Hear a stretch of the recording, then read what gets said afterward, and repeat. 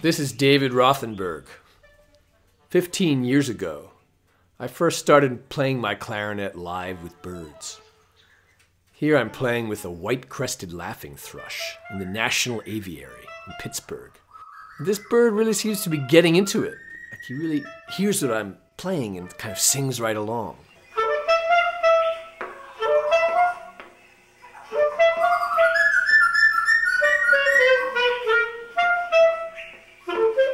At that moment, I realized you could really use music to communicate with other species. Together, we could make a kind of music that no one species could make alone.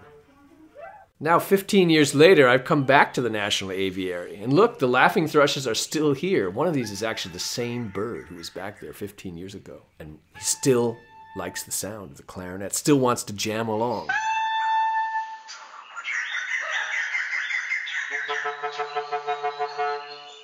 So, since those days, I've also been going out into the wild to try and play along with birds in their natural habitat.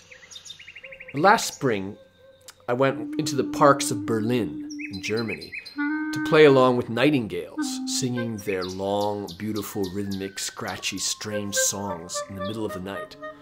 And I brought my friend Korhan Erel, a Turkish musician. He plays sampler, he plays iPad, electronic things. We, we were sampling the birds' own songs, playing them right back to them, and it just made the nightingales wanting to sing more and more.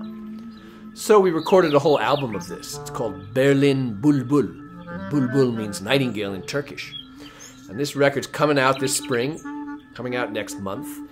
At the same time, we're, going to be in various places around Europe doing more live concerts together with nightingales.